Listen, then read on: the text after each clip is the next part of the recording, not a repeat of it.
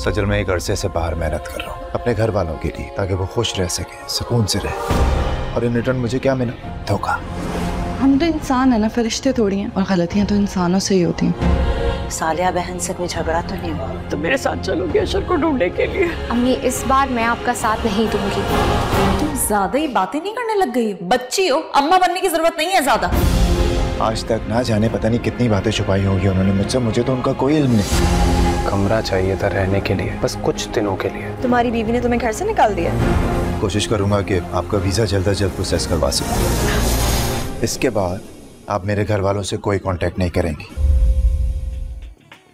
तेरे जाने के बाद देखिए आज रात नौ बजे सिर्फ़ ए आर वाई डिजिटल पर।